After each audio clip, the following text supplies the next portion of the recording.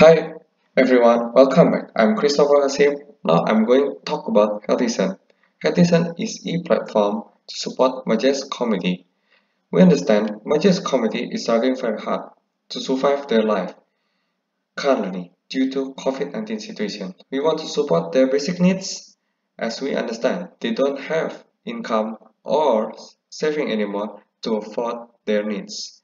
So therefore, we want to expose them through Healtizen. From there, they can receive easily and more faster their needs. In order to do that, we need to provide appropriate information to the donors so they can reach out easily those Majes people and community. Our goal is to increase well-being and happiness of those Majes people or community as we want to make them healthy and able to survive in this situation. And uh, our other goals is to flatten pandemic curve. With Healtizen, we can increase distribution of basic needs more faster than before.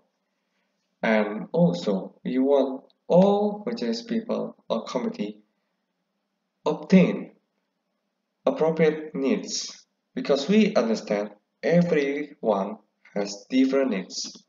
So therefore, we need Healtizen very much to make all things organized well. And lastly, we are doing this because we care about Majes people and communities. We don't want to make profit of this through this app. We are for helping those Majes people and community. That's all for me. Thank you for listening.